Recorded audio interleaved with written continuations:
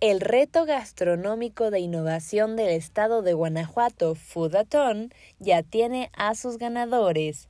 Este miércoles fue anunciado Oscar Vázquez Alanís como ganador de la categoría Plato Fuerte, quien deleitó a los jueces con su platillo capón de res basado en una antigua receta familiar. Para nosotros fue una experiencia inolvidable el plato que fue una, receta antigua de mis abuelos, de un recetario que traigo por ahí, y innovado por Marla, mi padre, y con la ciencia que le fuimos poniendo, esta parte de la, de la pirólisis de totomostle, la digestión, pensar en todo esto para los platos que un día van a ser el icono de Guanajuato, para nosotros fue cautivo. También resultó ganador Javier Rafael Bustos Jiménez por su travesura de chocolate, un postre que destacó sobre los demás en su categoría.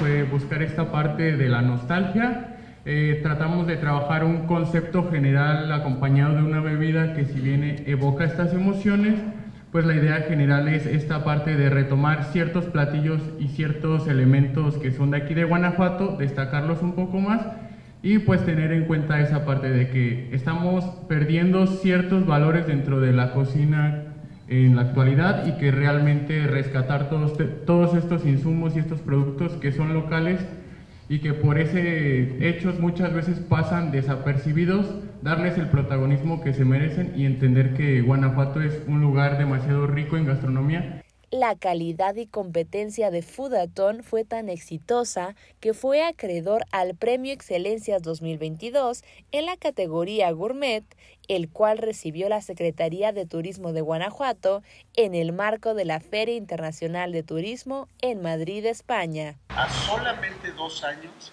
hoy tenemos un reconocimiento internacional para todos los que participamos. Ese reto ese reto del Foodathon, de esta plataforma, bueno, pues va agarrando cada vez más eh, eh, esta, esta, consolidación que nos va a permitir en un lapso de tiempo breve, mucho más breve del que en algún momento eh, pensé que pudiera tardarse, de tener esta, no solamente una política pública como ya lo es, sino que adicionalmente Guanajuato sea nuevamente en la transversalidad un punta de lanza porque estamos siendo el primer estado que tiene este tipo de iniciativas y que lo está llevando a que, a que tengamos estas, estas, estos, estos alcances. ¿no? Juan Antonio Reus Montaño, director general de IDEA Guanajuato, destacó que se trata de una iniciativa única en el país, la cual combina la mentefactura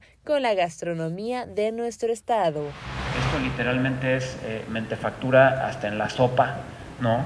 Es, es, es, darnos cuenta que la mentefactura es de todos, es para todos y es desde todos.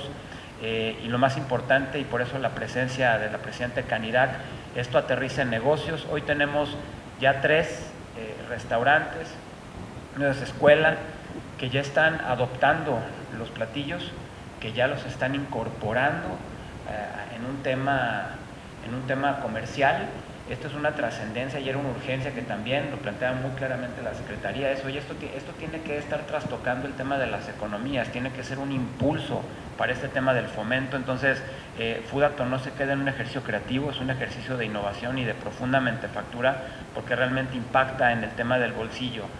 Además, se realizó la presentación del recetario de innovación gastronómica de Guanajuato, donde encontrarás las recetas de los platillos ganadores de la edición 2021 y 2022, para goce de todos los amantes de la cocina. Encuéntralo gratis en la página web de Idea Guanajuato. Con imágenes de Gustavo Lara, Renata Quintanar, TV4 Noticias.